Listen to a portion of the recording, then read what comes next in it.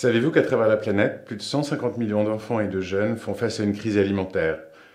Pour lutter contre ce fléau, mais aussi pour répondre à d'autres enjeux comme l'éducation, la santé et l'égalité de genre, la Coalition pour l'alimentation scolaire s'est réunie pour la première fois, et à Paris. L'objectif est simple, faire en sorte que d'ici 2030, chaque enfant dans le monde ait accès à un repas sain et nutritif à l'école pour bien apprendre et bien grandir.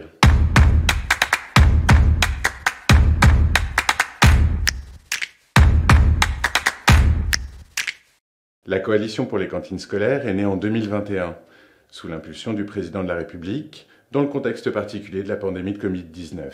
Souvenez-vous, le monde faisait face à la déscolarisation des enfants, à une pauvreté croissante et à des chaînes d'approvisionnement alimentaire perturbées. La coalition, lancée par la France, la Finlande et le Programme alimentaire mondial, le PAM, a depuis mobilisé largement. Elle regroupe désormais 90 États, issus de tous les continents et plus d'une centaine d'organisations. Des organisations internationales, des collectivités ou encore des centres de recherche. Deux ans après son lancement, les résultats sont significatifs. Les investissements collectifs dans les programmes nationaux d'alimentation scolaire ont augmenté de 5 milliards de dollars en deux ans pour atteindre 48 milliards en 2022. Les membres de la coalition ont donc atteint leur objectif premier, donner accès à un repas scolaire chaque jour à autant d'enfants qu'avant la pandémie. Nous ne nous sommes pas arrêtés là. 418 millions d'enfants bénéficient aujourd'hui chaque jour d'un repas à la cantine. C'est 30 millions de plus qu'en 2020. En deux ans, 4 millions d'emplois directs ont aussi été créés grâce à ces investissements, dont une grande partie en faveur des femmes. Le président de la République a agi avec force pour réduire encore davantage les inégalités dans l'accès aux repas sains et nutritifs, indispensables pour apprendre dans de bonnes conditions.